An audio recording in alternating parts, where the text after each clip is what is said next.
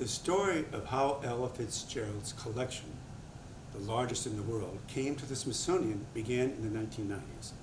In 1996, she passed away. A few weeks later, I get a call from a gentleman, Richard Rosman, in Los Angeles, who was her attorney. He said, Would you be interested in Ella Fitzgerald's things? Would we? I said. So three of us curators went out, went through her office and her home. In the living room, there was an end table with a stuck drawer. I gave it a good pull, all these papers popped out. In the back of the drawer, there was an envelope from the Smithsonian to Ella Fitzgerald. I thought, who wrote her from the Smithsonian? I opened the letter. It was from me.